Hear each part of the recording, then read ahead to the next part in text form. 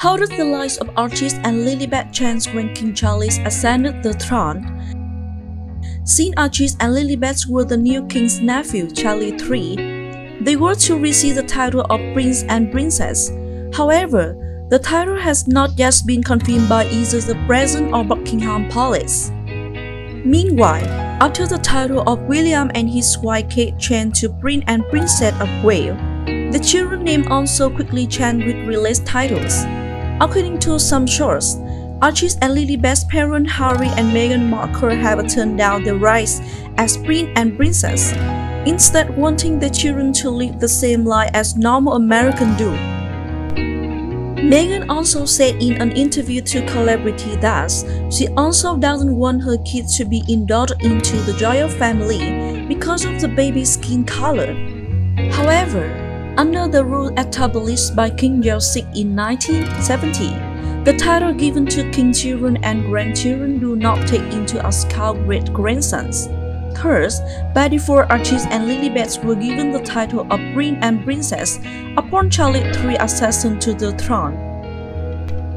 The non-ordination of Archie and Lilibet is going to have to be promulgated publicly. However, both the British and American law require that people over the age of 18 reach adulthood and will be able to make their own decisions. Then it's time we know exactly if Archie and Lilibet really want to be a member of British royal family.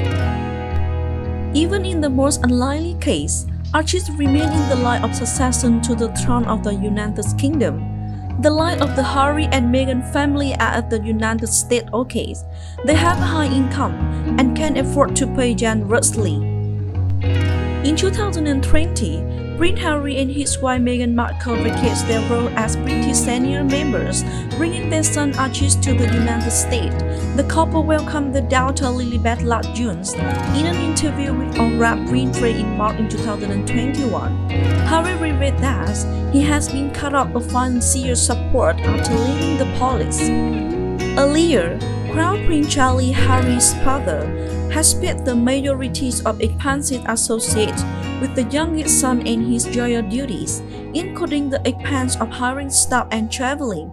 According to the Daily Star, Harry's total income, Meghan has approximately 96 million pounds, over 125 million dollars.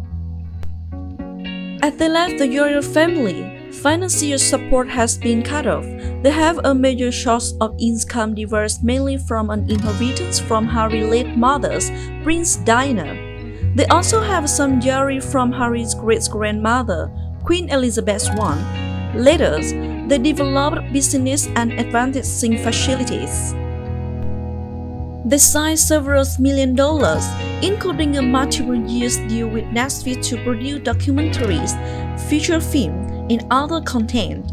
While the exact number was not disclosed, it was estimated that the contract could reach us $115 million. The, the couple also signed a contract to produce podcasts with Spotify, estimated at $25 million. Archie and Lilibet's life story heavily hunted by a journalist and paparazzi. It seems, however, that they are defending their children well. Do you have any question about Archie and Lilibet lies? Let us know in the comment section below.